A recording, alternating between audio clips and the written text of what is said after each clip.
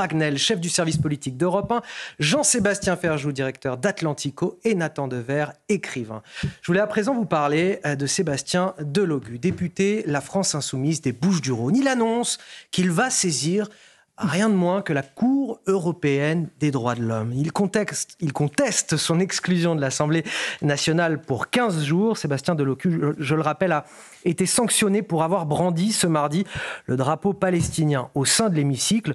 Je vous lis donc sa réaction ce matin sur le réseau social X. Ma sanction pour avoir brandi le drapeau d'un peuple colonisé et massacré digne d'un régime autoritaire. Les voix de la paix subissent interdiction convocation et violence d'un pouvoir à l'agonie, je saisis la CEDH.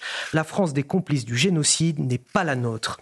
Alors on rappelle quand même à Sébastien Delogu qu'il est strictement interdit de brandir quoi que ce soit euh, dans l'hémicycle. Je ne vois pas en quoi un député LFI tout d'abord échapperait à, cette règle. Et de surcroît, je trouve que ça saisine autour de sa propre situation et d'une indécence crasse au vu de la situation au Proche-Orient en ce moment. Je trouve ça assez choquant. Euh, Nathan Dever, votre sentiment c'est extrêmement intéressant. Euh, il a le droit de saisir la CEDH s'il a envie.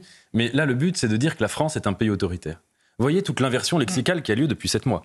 Le 7 octobre n'était pas un acte terroriste, selon ces personnes-là, euh, parce que euh, si on disait le mot terroriste, alors on cautionnait de massacrer des civils dans la bande de Gaza, comme si on ne peut pas dire, par exemple, que le 11 septembre était terroriste et que la guerre en, Irak, après qui avait eu lieu euh, par George Bush, était une mauvaise guerre. On pouvait tout à fait dire les deux. Donc le, le 7 octobre n'était pas terroriste. En revanche, ce qui a lieu aujourd'hui est un génocide. Vous voyez Là, il y a une sorte d'inflation verbale qui est inversement proportionnelle, enfin, qui est proportionnelle, au silence qu'il y avait sur le 7 octobre. Et ça se retourne dans le fait de dire qu'un pays comme la France, qui est une démocratie, toutes les démocraties sont imparfaites, sont incomplètes, n'est pas une démocratie. Donc là, c'est absolument magnifique, tout en ayant un grand silence sur le fait que là, dans l'histoire dont on parle, il y a un pays qui n'est clairement pas une démocratie, à savoir Gaza, euh, qui a un régime totalitaire, fasciste, islamiste, qui massacre sa population depuis 2006, pas depuis euh, euh, sept mois.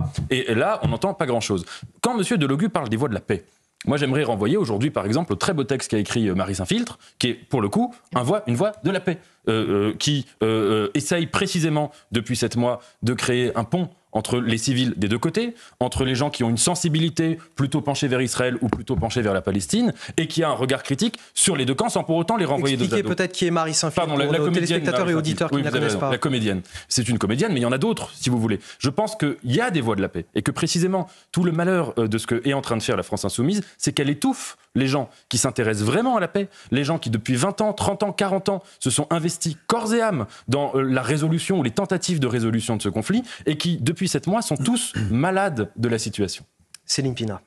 Et si on, revient en fait sur euh, euh, Monsieur Dologu, qu'est-ce qu'on voit? Il est en train de présenter. Euh, on a l'impression qu'on l'a envoyé aux mines de sel, qu'on l'a banni à Cayenne.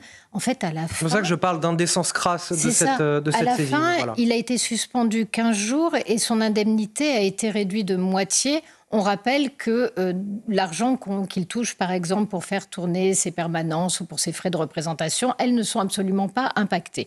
Donc, franchement, c'est quelqu'un qui est en train de se rouler par terre alors que la sanction dont il écope est assez légère. Et donc, on ne voit pas cette espèce de, martyrologie.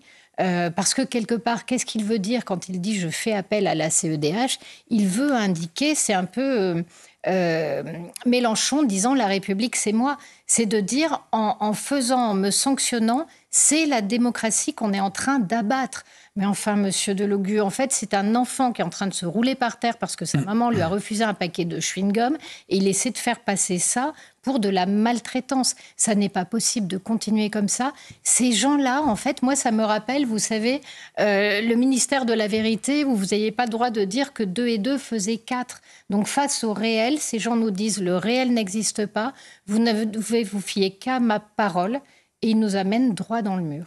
Louis Dragnel, la bordélisation de l'Assemblée, désormais une stratégie électorale de, la France insoumise, euh, tout comme souffler les braises sur le conflit justement entre Israël et le Hamas. Alors vous avez raison, mais au-delà de ça, pour revenir pardon sur Sébastien Delogu, il est absolument euh, pathétique. Vous avez raison de souligner la gravité. Moi, je voulais souligner le côté absolument bouffon, grotesque, parce que le même Sébastien Delogu, une demi-heure avant l'annonce de sa sanction, a dit, je cite, ce serait un honneur d'avoir une sanction. Premièrement. Deuxièmement, il écope de sa sanction. Quelle est sa première réaction? C'est une médaille d'or.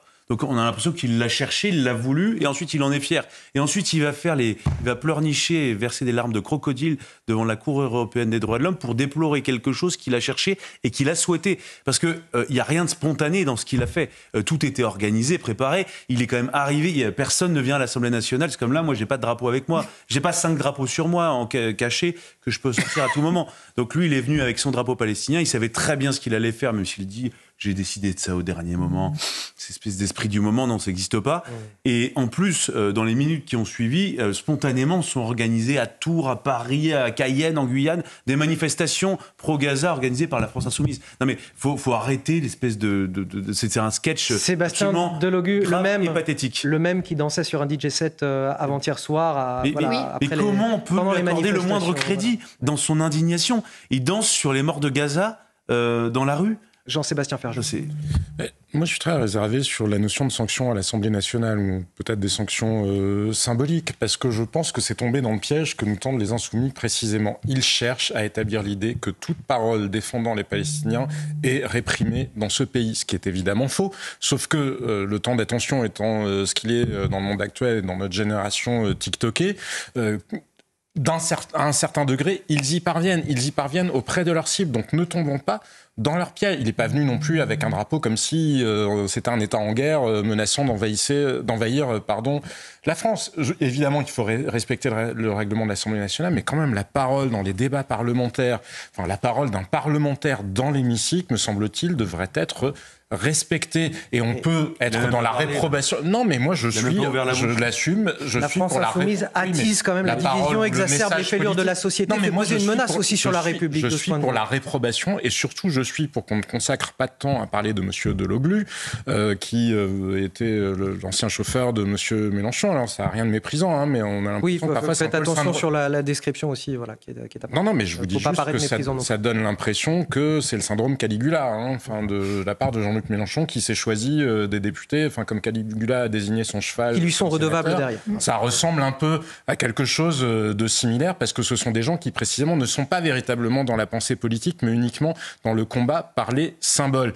Et ça, c'est quelque chose qu'il faut refuser. Il faut dire évidemment que le sort des Palestiniens mérite d'être défendu. Simplement, les insoumis ne sont pas les dépositaires exclusifs de la défense des Palestiniens. On peut mettre en cause Israël, on peut questionner Israël, on peut poser des questions à Benjamin Netanyahou, comme ce sera fait euh, ce soir dans une interview, et on peut aussi aussi poser des questions sur la responsabilité du Hamas, sur la responsabilité de la République islamique d'Iran- ce que les insoumis ne font jamais.